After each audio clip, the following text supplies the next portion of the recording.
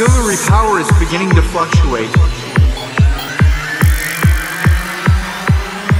I'll have to reduce power to secondary systems to compensate. Antimatter injectors are fused. We're losing warp core integrity.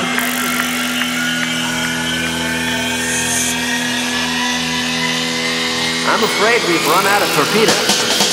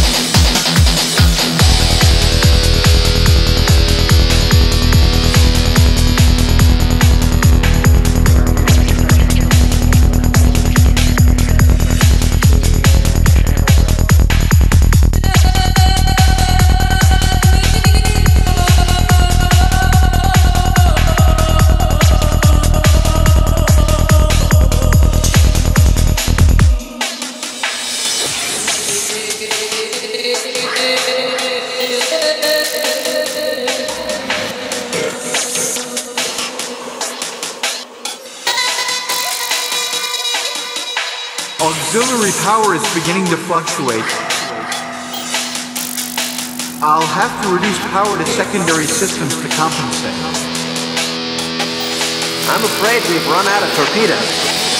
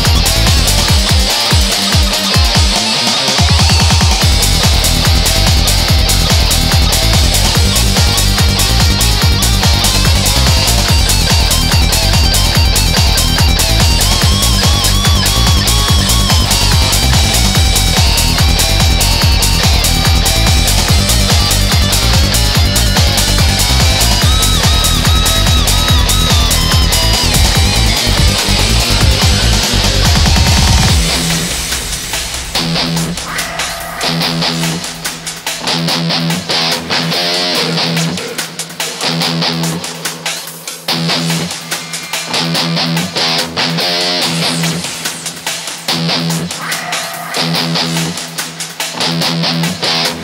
you.